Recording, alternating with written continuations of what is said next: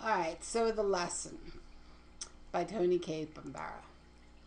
Uh, Toni was really a, a, an author from the last century that really represented the 20th century. She was born in 1939 in New York City and she died in 1995 in Philadelphia. She had one daughter and they lived in Atlanta and Philadelphia and, and she spent one year in Italy. She spent her childhood and teenage years with her mother and brother in New York City and can see that New York City influence in her work. She was she was inspired, given inspiration to write from her mother, and her mother's influences were from the Harlem Renaissance. You can certainly see that play in her work.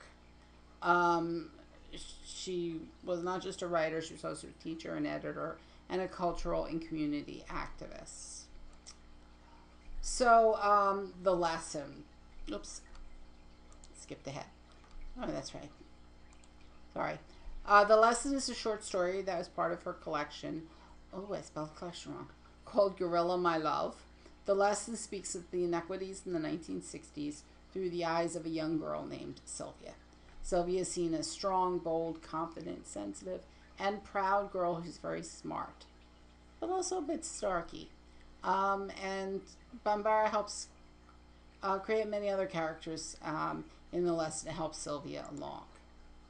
The setting is in Harlem and Manhattan. The time is, of course, in the 70s. It is given a first person point of view. Our narrator, Sylvia, is Sylvia, so we see the world through her eyes. So we're seeing it through the eyes of a poor black young girl. Um, Sugar is Sylvia's cousin. She's another one of the characters. And the two of them have a strong bond. In the lesson, Sylvia stays by Sugar's side the whole time that they are in the, well, they're not in a museum, they're in the, the uh, a toy store. I'm sorry about the museum there.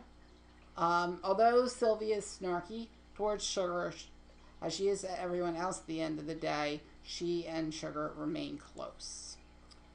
Uh, another big character in the story is Miss Moore. Miss Moore is um, kind of the new lady who moved in the Bach.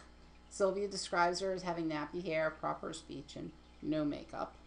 Um, they all the kind of kids and kind of hate Miss Moore. Um, and uh, she always is well dressed. In fact, Sylvia says she always looks like she's going to church. Um, and Miss Moore's interaction with Sylvia and her cousins in ways they found to be boring. She doesn't do fun things. Um, though I think taking the children to FAO Schwarz could be fun. Um, so let's think about some of the characters here. Are any of our characters dynamic? Remember, a dynamic character is one that changes from the beginning to the end. It could be a positive change or a negative change. So, do any of our characters seem to learn anything? Um, yeah, some of our characters change uh, and learn, uh, particularly Sugar, who seems to understand the lesson Miss Moore is giving them. Are any of our characters static? Well, I don't think Miss Moore really changes very much through the story. She tends, stays pretty much the same. And some of our other kids that is mentioned as kind of side characters, background characters, they're also pretty static. But what about Sylvia, our, our main narrator? Does Sylvia seem to learn Miss Moore's lesson? Well, she's certainly angered by Sugar's response. What do you think? Do you think that she too understands what Miss Moore's trying to to tell the kids? So our basic plot here. Uh, Miss Moore is presented as an educated black woman who got out of the ghetto but is now giving back to our community by teaching the children. She presents herself as a woman with an education, um, but a commitment to the civil rights of the 1970s. She decides to take the children not to a museum or a university, but rather to a place that reeks of excess FAO Schwarz. FAO Schwarz was a well known toy store for the very wealthy in Manhattan on Fifth Avenue.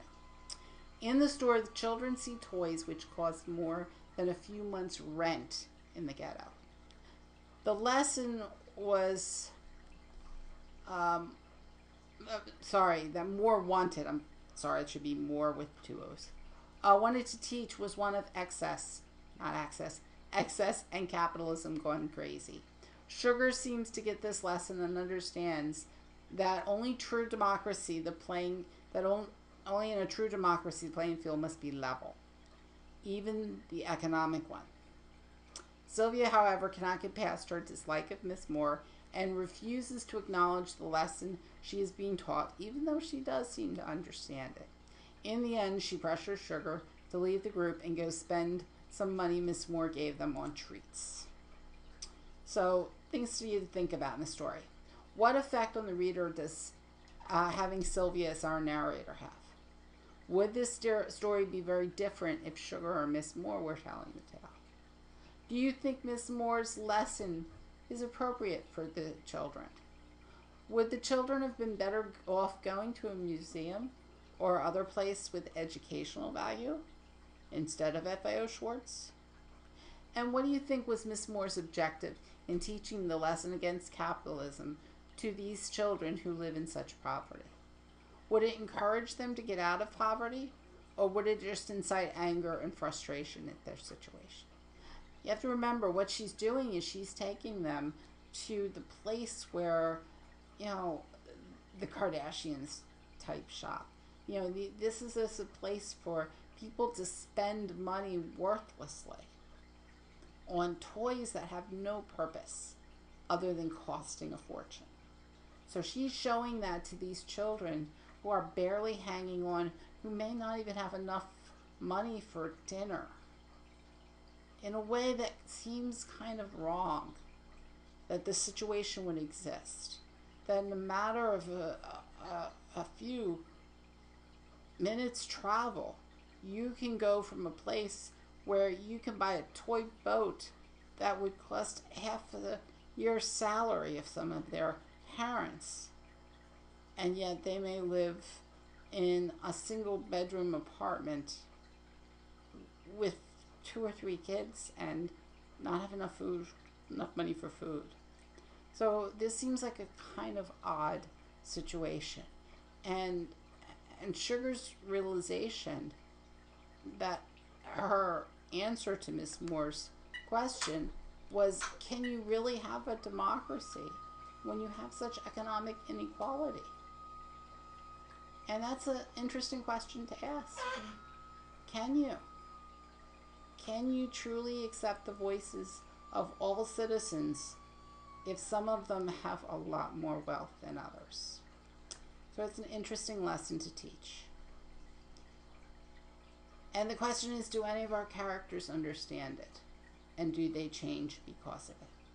So remember to do your journals.